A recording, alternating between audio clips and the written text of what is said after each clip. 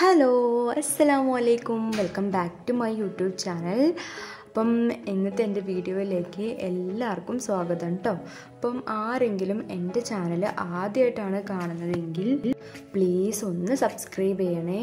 തൊട്ടടുത്ത ബെല്ലൈക്കണും കൂടി ഒന്ന് പ്രസ് ചെയ്യണം കേട്ടോ അപ്പം നമുക്ക് വീഡിയോ നോക്കാം. അപ്പം ഇന്നത്തെ വീഡിയോ എന്ന് പറയുന്നത് സ്റ്റാർ ഗ്രാസിനെ കുറിച്ചിട്ടുള്ളതാണ്. അപ്പം നമുക്ക് വളരെ പെട്ടെന്ന് തന്നെ പ്ലാൻ ചെയ്യാനും അതുപോലെ തന്നെ വളരെ പെട്ടെന്ന് തന്നെ ഉണ്ടാക്കിയെടുക്കാനും പറ്റുന്ന ഒരു ഗ്രാസാണ് സ്റ്റാർ ഗ്രാസ് എന്ന് പറയുന്നത്. അപ്പം ഇത് അധികം ഒരുപാട് മെയിന്റനൻസും കാര്യങ്ങളൊന്നും വേണ്ടതല്ല. പക്ഷെ പലർക്കും ഇത് പിടിച്ചു കിട്ടുന്നില്ല എന്നുള്ള പരാതി ഉണ്ടാവാറുണ്ട്. അതുപോലെ തന്നെ ഇത് പെട്ടെന്ന് നശിച്ചു പോകുന്നതായിട്ടും കാണാറുണ്ട്. അപ്പം അതിനൊക്കെ സൊല്യൂഷനായിട്ടാണ് നമ്മൾ ഇന്ന് വന്നിട്ടുള്ളത്. അപ്പോൾ ഈ സ്റ്റാർ ഗ്രാസ് നമുക്ക് വളരെ പെട്ടെന്ന് പ്ലാന്റ് ചെയ്യാനും അതുപോലെ തന്നെ അത് പിടിച്ചു കിട്ടാനൊക്കെ എളുപ്പമാണ്. പക്ഷേ നമ്മളിതിൽ ഒരു കുഞ്ഞ് കറുത്ത പുഴുക്കളായിട്ട് കാണാറുണ്ട്. സ്റ്റാർ ഗ്രാസിന്റെ കേസിൽ മാത്രമല്ല നമ്മൾ വേറെ ഒരുപാട് ചെടികളിലാണെങ്കിൽ കാണാറുള്ള കീടാണുക്കൾക്ക് എതിരെയുള്ള ഒരു ജൈവ കീടനാശിനിയാണ് നമ്മൾ തയ്യാറാക്കാൻ പോകുന്നത്. നമ്മുടെ വീട്ടിലുള്ള മൂന്ന് ഇൻഗ്രീഡിയൻസ് വെച്ചിട്ട് ഇത് തയ്യാറാക്കാം.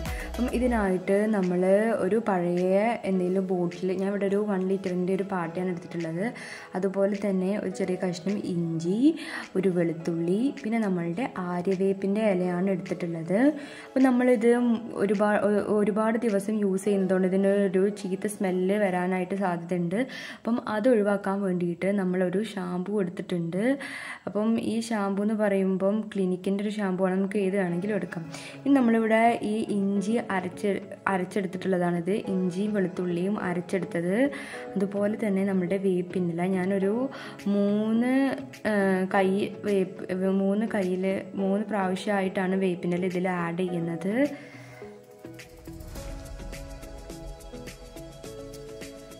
പിന്നെ നമ്മൾ എന്താ നിങ്ങൾക്ക് ഏത് ഇതൊരു സ്മെല്ലിന് വേണ്ടിയിട്ടാണ് ആഡ് ചെയ്യുന്നത്. ഞാനൊരു രൂപയുടെ ക്ലിനിക്കിന്റെ ഷാമ്പു ആണ് എടുത്തിട്ടുള്ളത്. നമുക്ക് ഏത് ഷാമ്പു വേണമെങ്കിലും ആഡ് ചെയ്യാം. അതുപോലെ തന്നെ ഇതിനെ വെള്ളം ഒഴിച്ചൊഴിച്ച് നമ്മൾ നന്നായിട്ട് യോജിപ്പിക്കുകയാണ്. അപ്പം ഞാനിവിടെ ഇത് ഒരു ലിറ്ററിന്റെ ഇതായതുകൊണ്ട് തന്നെ ഇത് ഒരു ലിറ്റർ ആകുന്നിടത്തോളം വെള്ളം നമ്മൾ ആഡ് ചെയ്ത് കൊടുക്കുന്നുണ്ട്.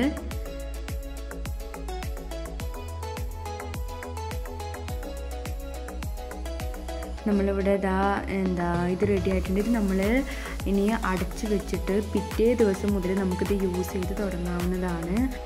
അപ്പോൾ നമ്മളുടെ സ്പ്രേ ബോട്ടിലാക്കിയിട്ട് സ്പ്രേ ചെയ്ത് കൊടുക്കുകയാണ് ചെയ്യേണ്ടത്. അപ്പോൾ നമ്മളുടെ ചെടികൾക്ക് മാത്രമല്ല ഇതുപോലെ ഇതാ ഇത് കണ്ടില്ല ഇത് മുന്തിരിയുടെ ഇലയാണ്. ഇതും ഒരു പുഴുക്കുത്ത് ഏറ്റിട്ടുണ്ട്. അപ്പോൾ ഈ മുന്തിരിക്ക് തന്നെ ഇത് ദോഷമായിട്ടാണ് വന്നിട്ടുള്ളത്. അപ്പോൾ നമ്മൾ ഇങ്ങനത്തെ ഉള്ളതിലൊക്കെ നമുക്കിത് ഉപയോഗിക്കാവുന്നതാണ്. പിന്നെ ഒരു കാര്യം പറയാനുള്ളത് നമ്മൾ ഒരിക്കലും ഈ സ്പ്രേ ചെയ്തതിന് ശേഷം ചെടികൾ നനക്കാനോ ഒന്നും പാടുള്ളതല്ല കേട്ടോ അപ്പം നമ്മ അത് ഫുള്ളി ആ ഇലകൾ അബ്സോർബ് ചെയ്ത് ചെയ്യുക തന്നെ വേണം. പിന്നെ എപ്പോഴും സ്റ്റാർ ഗ്രാസിന് തണുത്ത അന്തരീക്ഷമാണ് നല്ലത്. അധികം വെയിൽ കൊള്ളാത്തടത്താണ് ഇതുണ്ടാക്കാൻ നല്ലത്. ഇനി നമ്മൾ അഥവാ സ്റ്റാർ ഗ്രാസ് പ്ലാന്റ് ചെയ്യുന്നത് വെയിൽ ഏൽക്കുന്ന സ്ഥലത്താണെങ്കിൽ രണ്ട് നേരവും നമ്മൾ നനയ്ക്കാനായിട്ട് നമ്മൾ എപ്പോഴും ശ്രദ്ധിക്കണം. രണ്ട് നേരവും ഇതിന് വെള്ളം അപ്പം ആവശ്യമായിട്ട് വരും. അപ്പം ഞാൻ ഇന്ന് എനിക്കറിയാവുന്ന കുറച്ച് കാര്യങ്ങളാണ് നിങ്ങളുമായിട്ട് ഷെയർ ചെയ്തിട്ടുള്ളത്. അപ്പം എല്ലാവർക്കും എന്റെ വീഡിയോ ഇഷ്ടപ്പെട്ടു എന്ന് വിചാരിക്കുന്നു. അപ്പം ഇഷ്ടപ്പെട്ടാൽ ലൈക്ക് ചെയ്യാനും ഷെയർ ചെയ്യാനും കമന്റ് ചെയ്യാനും മറക്കരുത്. പിന്നെ ആരെങ്കിലും സബ്സ്ക്രൈബ് ചെയ്യാതെയാണ് എന്റെ ചാനൽ കാണുന്നതെങ്കിൽ പ്ലീസ് ഒന്ന് സബ്സ്ക്രൈബ് ചെയ്യുക. ആ തൊട്ടടുത്തുള്ള ബെല്ലൈക്കണും കൂടി ഒന്ന് പ്രസ് ചെയ്യുക കേട്ടോ. ഇന്നത്തെ വീഡിയോ ഇവിടെ അവസാനിക്കുകയാണ്. ഇൻഷാല്ല എന്നെ അടുത്ത വീഡിയോയിൽ കാണാം. Thank for watching